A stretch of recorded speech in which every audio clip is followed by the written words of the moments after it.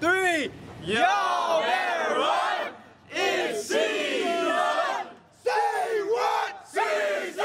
Say what? Season. Say what?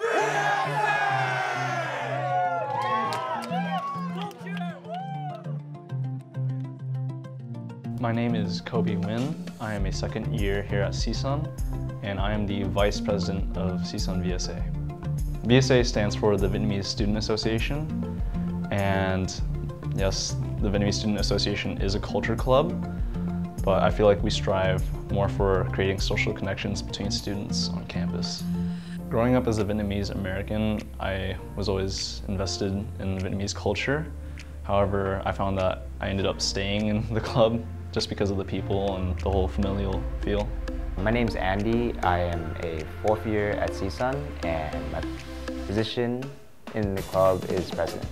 VSA uh, has a big and little system called uh, So that's pretty much when a older member is able to pick up a newer member and it pretty much mentors them through college and it's a good support system. Like personally for me, um, my big was always there and gave me a lot of advice in college.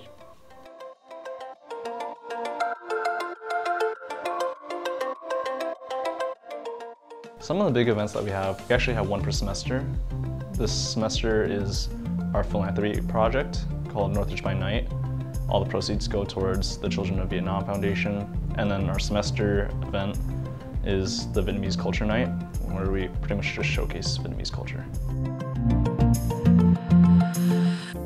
One of my favorite memories is got to be um, participating in Vietnamese Culture Night as a dancer. Um, during my first year, I danced for three um, routines, background, traditional, and modern dance.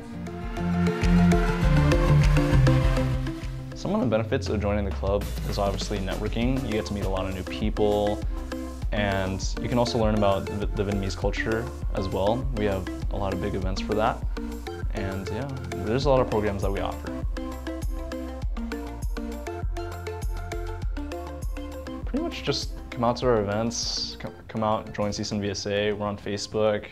And yeah, I get to see what we're all about.